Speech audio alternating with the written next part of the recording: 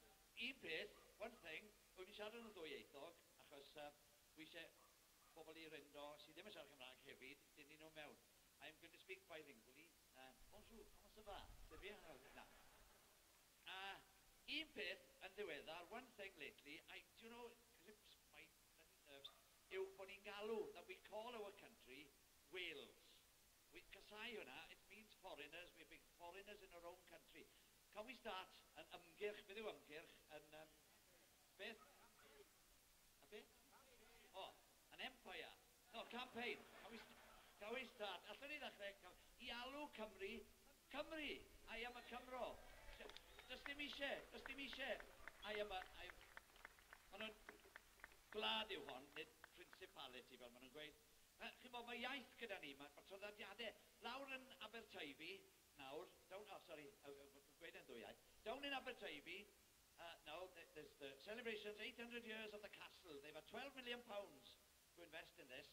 And the first band they invited was Bellowhead, an English, self uh, bloody great band, self-professed purveyors of English music to the best that they can do. Why? Well,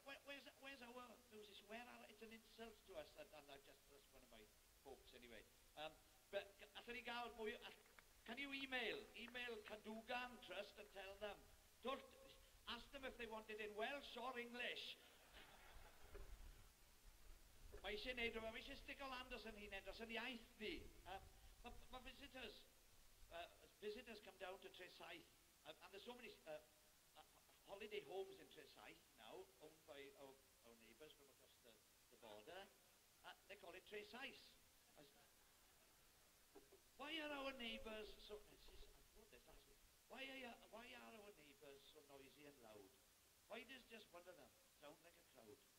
Why, why do they push and jump in the queue? Why do they always know better than you?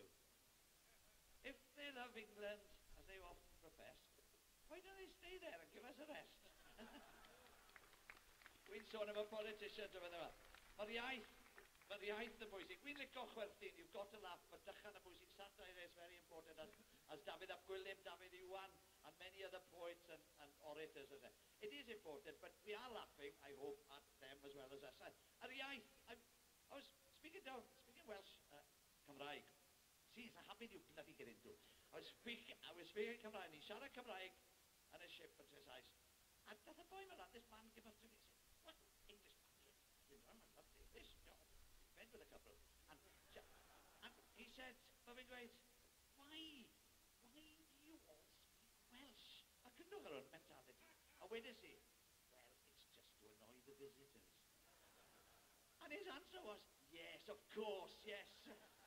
They just don't believe we've got a culture and it's our country.